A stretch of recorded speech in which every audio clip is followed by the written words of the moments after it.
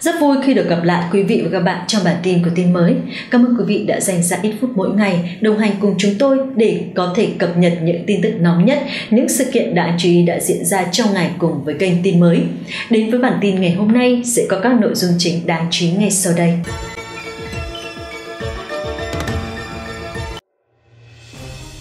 Chào mừng các bạn đã quay trở lại với bản tin của tin mới trong bản tin ngày hôm nay. Các bạn thân mến, tin mới sẽ mang đến cho quý vị và các bạn nội dung sau. Kính thưa quý vị khán giả, do bị ảnh hưởng bởi cơn bão, tuyến phà Thượng Hải bị đình chỉ và 300 người chết ở Chiết Giang đã được di chuyển đến nơi an toàn. Vào ngày hôm qua, sức gió tối đa gần tâm bão số 11 năm nay, Xuân Lanuo đã lên tới cấp 16. Bị ảnh hưởng bởi cơn bão, nhiều danh lam thắng cảnh ở Thượng Hải đã phải đóng cửa, nhiều tuyến phà bị đình chỉ hoạt động, một số tuyến tàu điện ngầm trên mặt đất và trên cao bị hạn chế hoặc tạm dừng hoạt động hơn 300.000 người đã được di chuyển đến nơi an toàn và các lớp học bị đình chỉ ở nhiều nơi. Bị ảnh hưởng bởi Solanuo, giới hạn tốc độ tàu điện ngầm Thượng Hải tuyến phà bị đình chỉ. Vào lúc 6 giờ chiều ngày hôm qua, Đài quan sát khí tượng trung ương của đại lục đưa ra cảnh báo bão màu vàng cho biết bão Sunanuo đã mạnh lên thành siêu bão một lần nữa vào lúc 11 giờ sáng ngày hôm qua và tâm của nó nằm ở đông nam cách đảo Chu Gia Giới, tỉnh Chiết Giang vào khoảng 5 giờ chiều. Trên khu vực phía nam biển Hoa Đông dài 340 km, sức gió cực đại vùng gần tâm là 16 khoảng 52 m trên giây. Vòng gió giật cấp 10 có bán kính 120 đến 150 km và vòng gió cấp 12 có bán kính 30 km. Dự kiến, Solanuo sẽ di chuyển về phía bắc với tốc độ từ 15 km đến 20 km một giờ. Cường độ sẽ tăng dần, sẽ tiến dần đến bờ biển phía đông bắc của Chiết Giang. Nó sẽ đi theo hướng bắc trên vùng biển ngoài khơi Chiết Giang trên sáng ngày hôm nay và đến sáng ngày mai sẽ bắt đầu chuyển hướng đông bắc trách về phía nam bán đảo Triều Tiên đến eo biển Triều Tiên. Cùng ngày, cảnh báo bão Thượng Hải được nâng cấp thành màu vàng, dự kiến sức gió giật cực đại trong đất liền Thượng Hải từ đêm qua đến ngày hôm nay và trong những ngày tới. Từ 8 giờ sáng ngày hôm nay đến 8 giờ sáng ngày mai, eo biển Ba Si, biển Hoa Đông, phần trung và nam của Hoàng Hải vùng biển gần quần đảo Điếu Ngư, cửa sông Dương Tử, vịnh Hàng Châu, khu vực Đông Bắc Chiết Giang, Thượng Hải, Đông Giang Tô và ven biển sẽ có cấp 6 đến cấp 9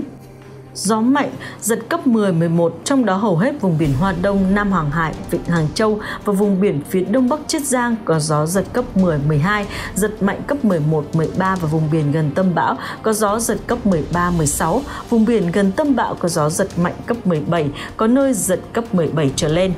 Tờ The Paper đưa tin công ty phả Thượng Hải cho biết vào ngày hôm qua rằng sau khi các chuyến san xong, tuyến Đông Nen, tuyến Xiên Ninh, tuyến Di Đinh và tuyến Cao Linh bị đình chỉ hoạt động cùng ngày. Vào thời điểm đó, thẻ thu phí của tuyến A của tàu Đông Hai hướng về cảng Yan San đã bị cấm Sen Trồng Minh số 7 và các hàng ngang và hàng dài của xe buýt Trồng Minh bị đình chỉ và tuyến hành khách Thượng Hải bị đình chỉ.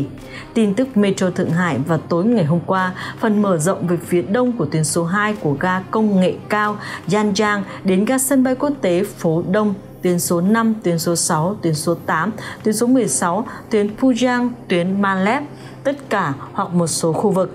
Các đoạn có thể bị hạn chế tốc độ hoặc ngừng hoạt động. Shanghai Metro nói rằng họ đã hoàn thành bước vào trạng thái sẵn sàng trong phòng chống bão. Bị ảnh hưởng bởi cơn bão, giờ làm việc của Thiên đường Kim Cương Thượng Hải đã được điều chỉnh và danh lam thắng cảnh Bihansa Thượng Hải, danh lam thắng cảnh làng trài Yinyansui Thượng Hải và vườn mục vụ Sanyang tạm thời đóng cửa. Bị ảnh hưởng bởi cơn bão, 300.000 người đã được di chuyển đến khắp các tỉnh Chiết Giang. Tỉnh Chiết Giang cũng bị ảnh hưởng bởi cơn bão Solanuo bắt đầu từ ngày hôm nay tại Ôn Châu, Taiyu, Ninh Ba và Yusan. Tất cả các trường tiểu học và trung học mẫu giáo và các cơ sở đào tạo ngoài trường sẽ tạm dừng các lớp học trong một ngày. Tất cả các trường cao đẳng và đại học tham khảo để thực hiện. Theo Cục Khí tượng Chiết Giang, từ đêm ngày hôm qua đến sáng ngày hôm nay, gió trên mặt biển dọc theo bờ biển Chiết Giang sẽ đạt cực đại và mưa lớn đã xảy ra ở Ninh Ba, các khu vực phía đông và bắc của Thiệu Hưng và phần phía bắc của Taiju, khả năng xảy ra lũ quét ở thành phố siêu đảo Ninh Ba là rất cao, đã phát ra cảnh báo đỏ, cảnh báo sớm về bão, mưa bão, lốc xoáy và thảm họa địa chất đã được ban hành ở Chiết Giang. Tính đến 9 giờ 20 phút ngày hôm qua, Chiết Giang đã phát ra 108 tín hiệu cảnh báo sớm về thảm họa khí tượng Tờ The Paper đưa tin vào tối ngày hôm qua, chỉ số phòng thủ tỉnh Chiết Giang báo cáo rằng tính đến 2 giờ chiều ngày hôm qua, Chiết Giang đã chuyển 312.177 người và tập trung 60.693 người còn tin tức Chiết Giang đưa tin rằng dự kiến sẽ có mưa vừa đến mưa to ở phía đông Chiết Giang vào ngày hôm nay, bao gồm mưa lớn ở các khu vực của tỉnh Ninh Ba, Yusan, Đông Thiệu Hưng, Bắc Thái Châu, Đông Kim Hoa và những nơi khác và một số mưa lớn.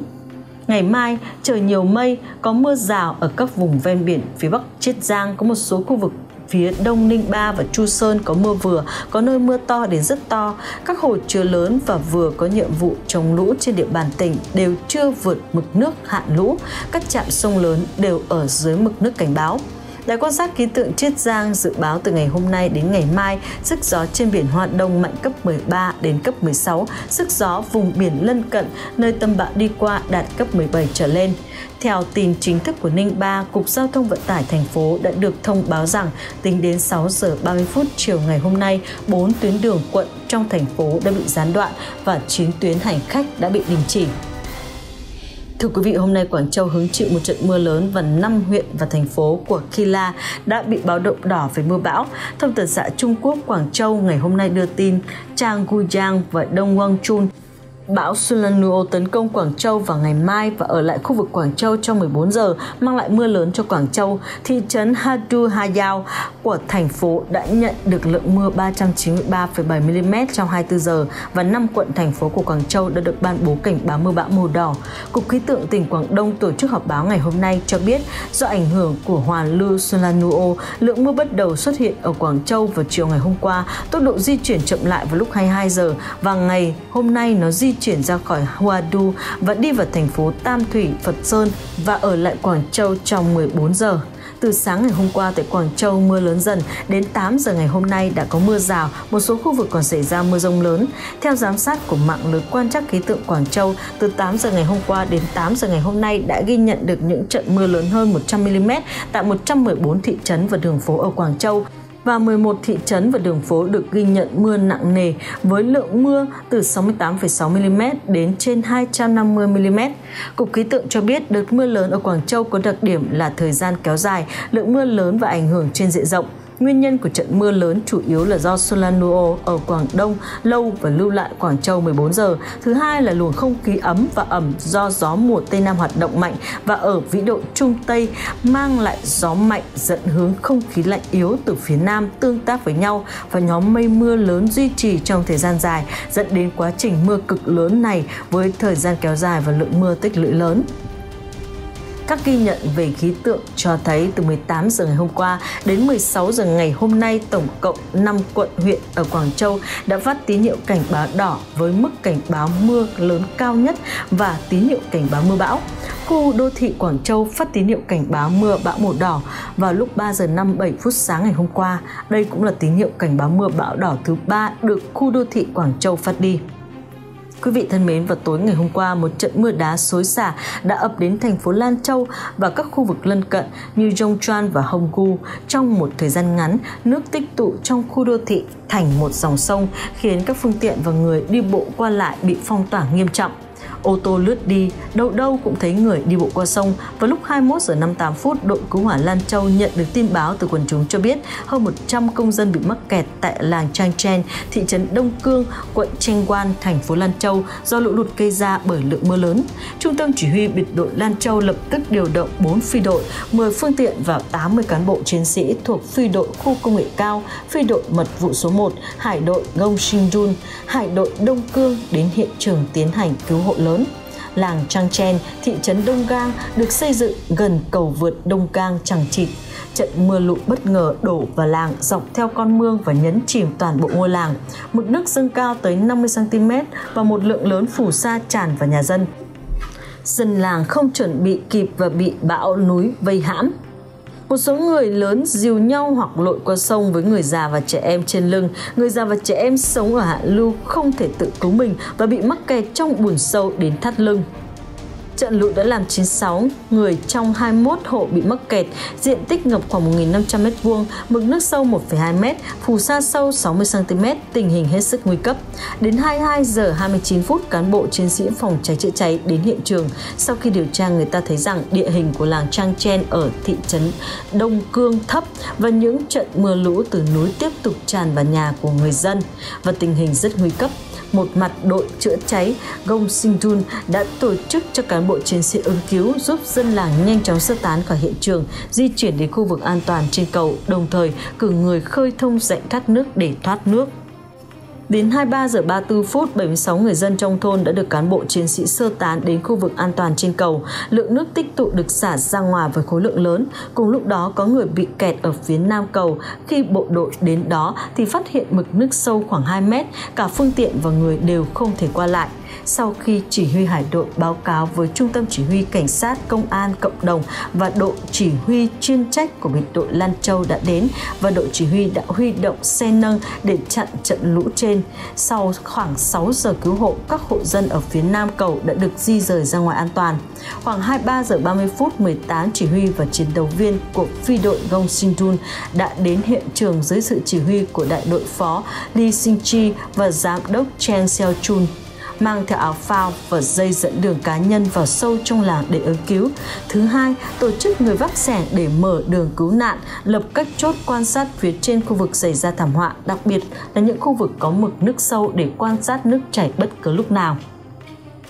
Thứ ba, nạo vét đường ống và tìm cách thoát nước. Sau đó cán bộ của hải đội nhanh chóng báo cáo tình hình về sở chỉ huy. Tổng tư lệnh Lý Phong yêu cầu cán bộ chiến sĩ hải đội chú trọng đảm bảo an toàn, tăng cường công tác đảm bảo an toàn trong công tác cứu nạn, nỗ lực hết sức để tìm kiếm, cứu người bị mắc kẹt, nhanh chóng chuyển người bị mắc kẹt ra ngoài. Đồng thời, đội chỉ huy toàn thời gian của đội đã huy động lực lượng tiếp viện bằng xe chiếu sáng của hải đội Đông Cương ngay từ đầu.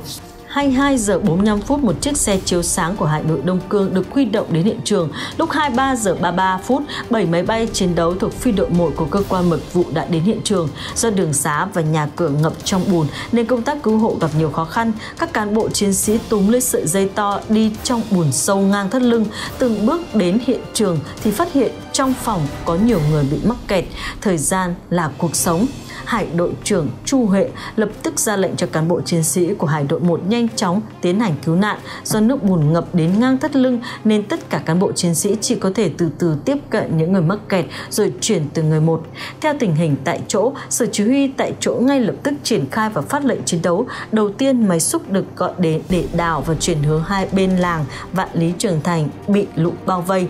dùng dây an toàn kéo nhau vào các hộ gia đình bị thiên tai, giải cứu người già và trẻ em bị mắc kẹt bằng cách bế ẵm và hướng dẫn những người bị mắc kẹt khác nhanh chóng chuyển đến khu vực an toàn. Sau 4 giờ giải cứu, tổng cộng 96 người mắc kẹt đã được chuyển đi và giải cứu lúc 1 giờ 55 phút dạng sáng, không có thương vong. Sau thảm họa, kỹ sư cấp cao Ma Jin Feng, chỉ huy trưởng sở chỉ huy quân đoàn Li Feng, giám đốc bộ phận phòng cháy của trụ sở quân đoàn Lan Châu và Chen Jun, trưởng bộ phận quản lý của bộ chỉ huy tức tốc đến hiện trường chỉ đạo cứu nạn. Hiện những người thoát nạn đã được chuyển đến nhà nghỉ gần đó và đã được bố trí tái định cư đàng hoàng. Tin tức từ báo cho biết, Tối ngày hôm qua một trận lốc xoáy trên núi kéo dài hàng nghìn km khiến con đường dài gần 30 mét phía trước số 68 phố Phu Liêm Pinh Bách trên đường Lan San bị lũ cuốn trôi. Sau khi vụ việc xảy ra, đường Phu Liêm Pinh và các cán bộ chiến sĩ cảnh sát vũ trang được điều động ngay để thực hiện các biện pháp cứu hộ, cứu nạn nhanh chóng, hiệu quả, đảm bảo một nửa đoạn đường được thông xe. Theo một chủ cửa hàng có mặt tại hiện trường khi cơn mưa lớn ập đến, tôi đang dọn hàng trong cửa hàng thì một lúc sau sấm chớp kinh hoàng rồi cả lũ ập đến. Thấy nước có dâng lên trước cửa hàng, cửa bất ngờ bị nước lũ cuốn tràn vào, không kịp tiêu thoát nước lũ. Một lúc sau đoạn đường dài hơn 30 mét bị lũ tràn, ngập trong nước lũ sâu hơn 2 mét. Trời đổ mưa to thì tôi không dám ngủ. Và thông tin trên cũng đã kết thúc chương trình hôm nay của tin mới. Để không bỏ lỡ những thông tin của chúng tôi, quý vị hãy bấm like, share và subscribe để nhận được thông báo mới nhất khi chúng tôi phát sóng. Còn bây giờ xin thân ái chào tạm biệt và hẹn gặp lại.